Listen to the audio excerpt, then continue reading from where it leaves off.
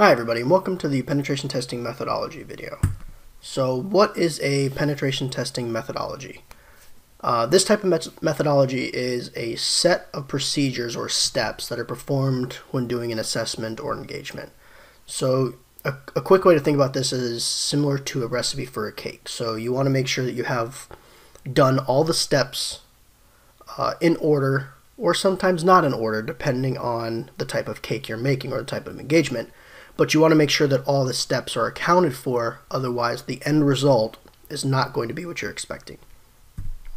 So why is this type of methodology needed? So it gives a structure to a red teaming uh, assessment, like I was saying before.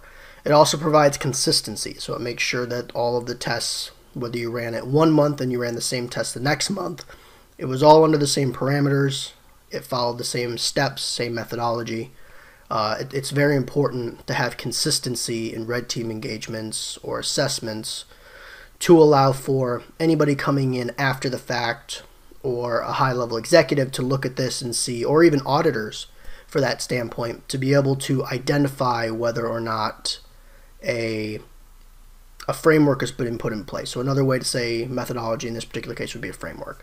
So it avoids missing required components such as the reporting or maybe you're scanning a particular target and you didn't scan UDP as an example. So that would be an issue of missing data.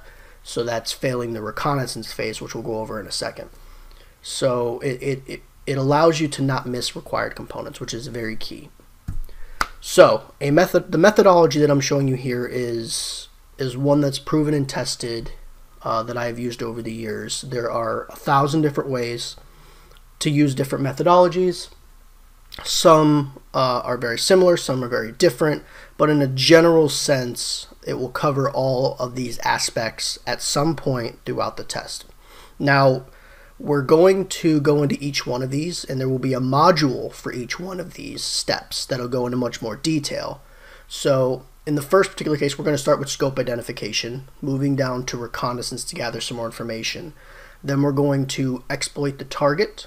So now we've got access to the machine. We're going to do some post-exploitation uh, fun stuff. So stuff like moving up to administrator or root. And second to last is covering your steps. This may or may not be required depending on the engagement that you're looking at. And then the final step is reporting, which should always be there. So, scope identification. So, what is scope? So, this will be going over in a, in a, separate module, but scope in a nutshell is being able to understand the wide variety of options that could go into place with an engagement. So, stuff like um, goal identification, so knowing what the end goal happens to be. Do you need to notify anybody that the test is about to occur? Are there any stability or service considerations that have to be took into place, such as a service being, let's say we have a Java service that is specifically finicky about receiving a lot of traffic. That would be something you'd want to take into consideration in the scope identification phase. So this is more of the paperwork side of things. Uh, so it, it's still very important. There needs to be a paper trail around your assessments. So think of this as a cover your ass type situation um, this is your get out of jail free card if you're a freelancer or a consultant. The next step is the reconnaissance phase. So what is reconnaissance? Reconnaissance has two particular things. It's it's an active or a passive check. So this is where you either on the active side you are actually touching the target, looking at information, running scans, performing enumeration, uh, which is just information gathering, uh, or you're being passive about it, you're using Google, you're using third party tools to actually touch the organization. So this will all go into more detail, but this is the first core concept of running a test of any engagement is identifying the information that you need and all the information available, whether it's small or large, because you never know what you're going to need or what's going to let you actually get through. So the fun stuff, the exploitation phase. So what is exploitation? We're actually attacking the host. We're gaining access of some kind.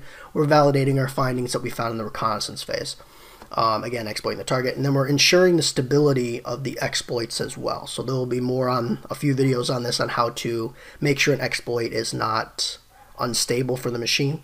Uh, there's also, based on the scope identification phase, you should know what services you're attacking or can attack that will have a better effect on the stability of the system.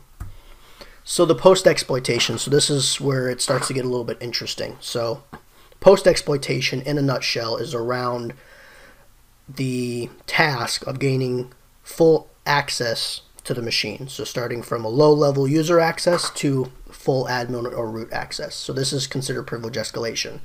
In this particular phase, you want to get your persistence on the machine. So make sure you don't have to re-exploit a service that may have crashed. Um, you want to be able to be able to get onto the box again quickly without any issues. So again, moving laterally is part of this as well, where you might gain access to one host, but let's say you're from the you're you're attacking from the internet's perspective. Now you have a foothold in the network. So moving laterally laterally for you is moving to different uh, machines and being able to scan from there. And then looking for some good fun stuff such as password hashes, uh, going through emails that might be left on the system, who's logged in, key logging it. There's a lot of varieties um, of things that can be done here.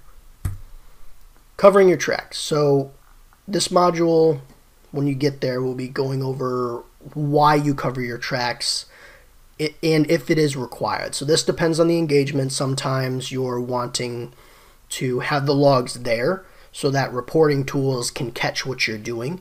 However, sometimes clearing them will alert that somebody's there. So depending on the engagement or assessment, you may want to change this up. So we'll go over where log files are in each different type of OS, where their locations are, what they are, uh, whether or not you should wipe the logs. We'll go into different a few different ways of hiding your persistence. So whether that's through a rootkit or whether that's through um, hiding it just with the uh, OS level um, calls. So we'll go over that in its own module. And then cleaning up. So in a lot of times engagements, you'll need to clean up after yourselves, whether that's um, you've changed a password, a configuration, etc.